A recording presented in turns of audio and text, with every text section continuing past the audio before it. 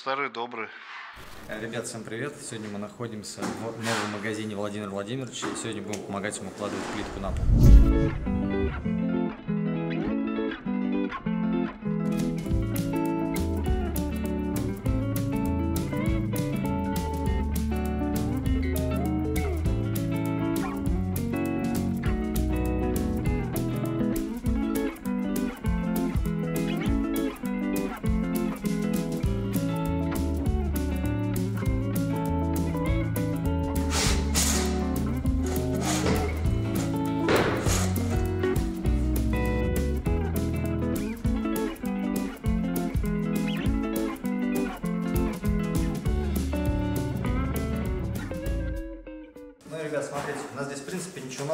Мы, как обычно, укладываем плитку на пол.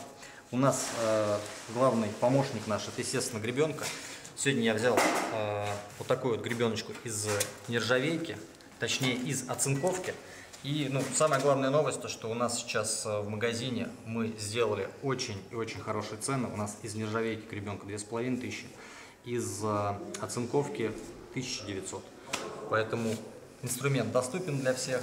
И обязательно покупайте, очень помогает при укладке плитки на пол. План действий у нас максимально простой.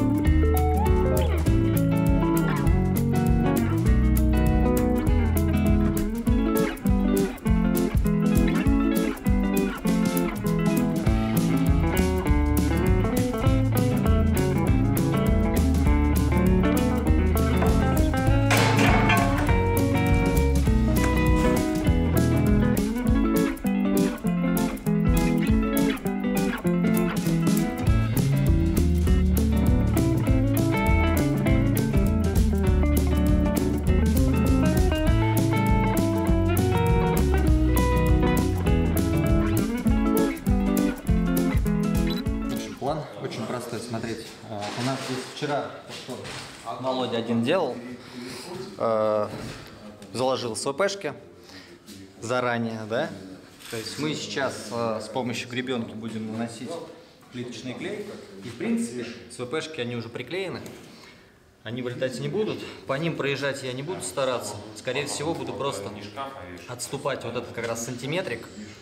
И э, в целом, когда мы будем укладывать плитку, мы вот с этой стороны будем ее придавливать в эту сторону. Таким образом, плиточный клей мы как раз будем подгонять под эту пустоту, и у нас не будет его переизбытка, то есть он не будет шов давиться. И в то же время он вплотную здесь подойдет, и пустоты здесь не будет.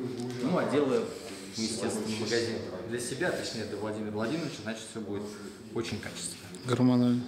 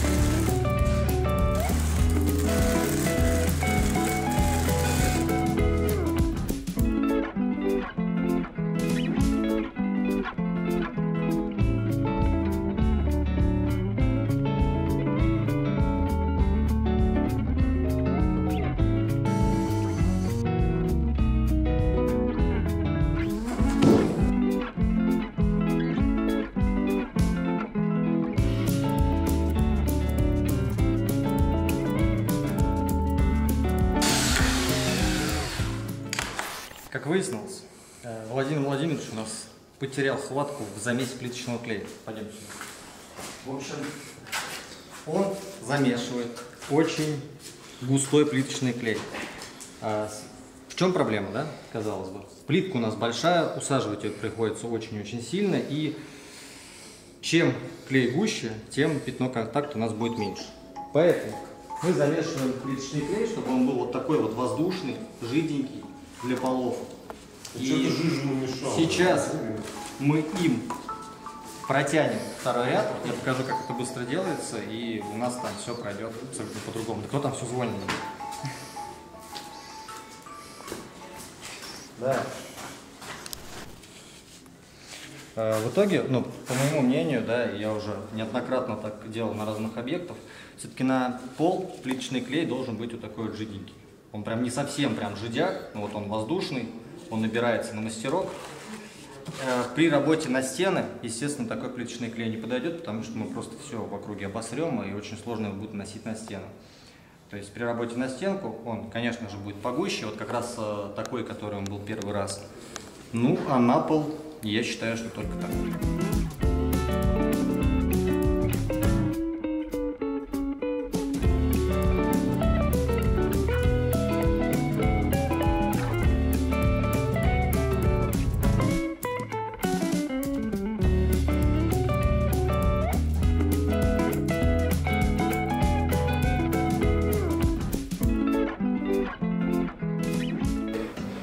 Просто ее бросаем, и она, в принципе, уже под своим весом практически сходится, как нам надо. То есть небольшая такая вибрация выставляет ее в нужный уровень. Уже по ней танцевать, как я делал до этого, не нужно. Ну и почему еще плиточный клей жидкий намного лучше? Потому что у него гораздо дольше открытое время. То есть вот здесь сейчас жарко, и в принципе э, он спокойно может стоять более 15 минут. Э, Если помещение прохладное, то в принципе даже полчаса. Вот уже после того, как э, затянуты СВПшки, уже только потом вставляем крестики, потому что э, если заранее крестики вставить, мы будем затягивать СВПшки, то плитка будет раздвигаться, и она потом придется подбивать. Сейчас, когда они плотненько, вставляем их только в перекрестие, потому что, на мой взгляд, если плитка у нас сертификат и крестики хорошего качества, то вот так вот гораздо надежнее. Пойдем покажем. Вот смотрите, еще вот, э, не раз уже показывал крестики. Э, вот Володя вставляет, просто и так вставляет, да? И когда крестик у нас идет за подлицо с плиткой, всегда кажется, что перекрестие ровное. Вот чтобы не было такого эффекта, я всегда крестики так вот утоплю на 2-3 миллиметра как минимум. Тогда уже у нас прям появляется четкая картина, во-первых, а во-вторых, вот эти крестики доставать не нужно. То есть можно сразу носить затирку. э, и это, на мой взгляд, также очень ускоряет работу.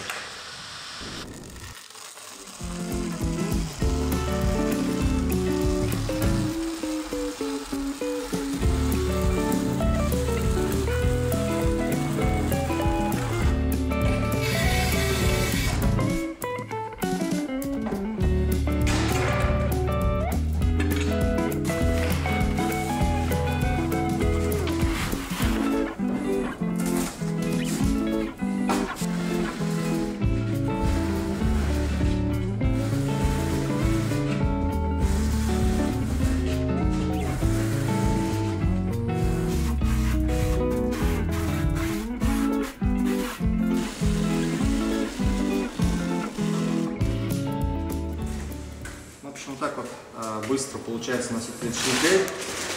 И все у нас полосочки борозды плиточного клея ровные. Накидываем плитку, вставляем СУПшки, зажимаем, и все, в принципе, готово. Что ж, хуеполёство-то, блядь.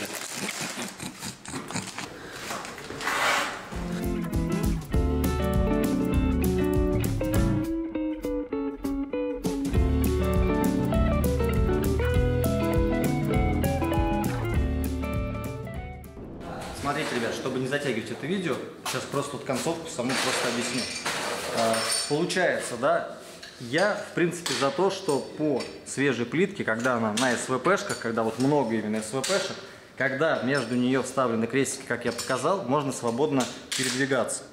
Но все равно, да, мы оставляем, когда мы выложили полный ковер, у нас остается тот край, и сейчас как мы делаем, то есть если по фэншую все делать. Оттуда начинаем вести плитку, то есть уже там подрезка, и заканчиваем э, вон теми тремя плитками, и уже попадаем на выход. То есть, если мы хотим все это помещение, ну, здесь небольшое, сколько здесь, Володь, 50 квадратов, да? Да. 50 квадратов положить за день, а мы укладывали и больше, то, в принципе, оно вот так вот и делается. То есть, как раз последняя плитка всегда укладывается на входе. Неважно, какой формы помещения, но плюс-минус всегда соблюдается именно такой подход.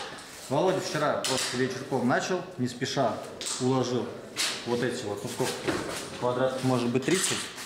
А сегодня мы вот, свободное время появилось, приехали на пару часиков, чтобы добить это помещение и поедем на резку, потому что там у нас тоже много заказов. Меня зовут Сергей. Сегодня я учил укладывать правильно плитку Владимира Владимировича. За Сашей стоит Александр, который недавно у нас стал наконец настоящим мужчиной. Он э, женился. Давайте пожелаем ему удачи. Саш, тебе пару слов. Всем пока.